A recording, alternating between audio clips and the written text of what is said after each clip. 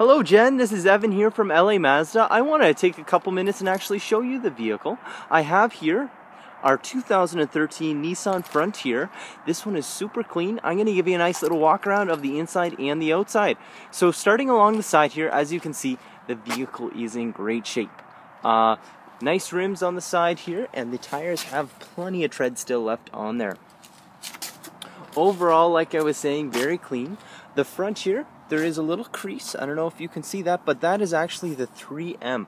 The previous owner went ahead and wrapped the front in 3M to protect it from the rock chips because in Alberta, there's a ton of rocks on the road.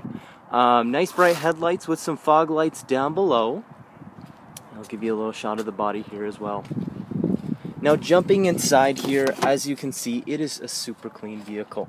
Uh, it has all your power options, so your power windows, power locks, and power mirrors just inside. Inside you have this super comfy cloth interior and it is in great shape. Jump right inside. So inside a couple things to touch on in here. You got your controls on the steering wheel for volume control, your phone connect, your cruise control, all that good stuff's there for you. And in the center you have your auxiliary plug-in with your radio, your CD player, and everything right there for you.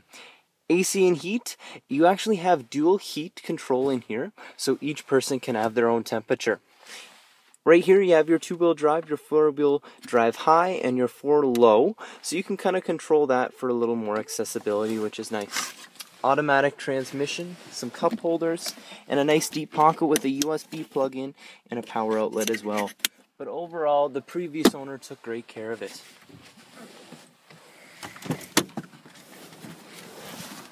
So moving to the back, this truck does have the full four doors. So back here, same interior as well, very comfy, and there is tons of space back here. So if you are bringing somebody along, you have space for them. Back here, spray in box liner to protect that box, obviously. Shot back here. Backup camera is located right back there so you are able to see what is behind you.